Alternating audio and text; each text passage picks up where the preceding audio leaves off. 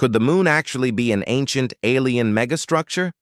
This is the incredible claim made by some scientists and researchers who long wondered if the moon isn't what it seems. It's the perfect size and distance to control Earth's tides and even stabilize our planet's tilt. Not to mention its uncanny ability to light up just like a giant magnifying glass, focusing the sun's energy to supercharge photosynthesis on our planet and make life possible. The fact that the moon is so perfectly suited for life on Earth has led many to believe that it was put here intentionally. In other words, the moon could be a gigantic alien artifact, a megastructure left behind by a highly advanced civilization. In 1969, the Apollo 11 mission revealed that the moon is hollow. When the lunar module landed on the moon, it struck the surface with an iron hammer. The sound it made was analyzed by experts, and they concluded that the moon literally rang like a bell. The only possible explanation, it was hollow.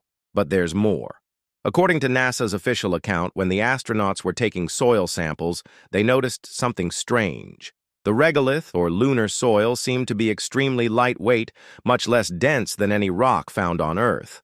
They also noted that the rocks seemed almost perfectly smooth, as if they had been manufactured in a factory rather than formed by natural processes. And then, there's the sheer improbability of the moon's existence. You see, according to the nebular hypothesis, the moon formed naturally from the dust and gas in our planet's early atmosphere. But there's a slight problem with this theory. The dust and gas in our young solar system would have formed a thick disk around the Earth.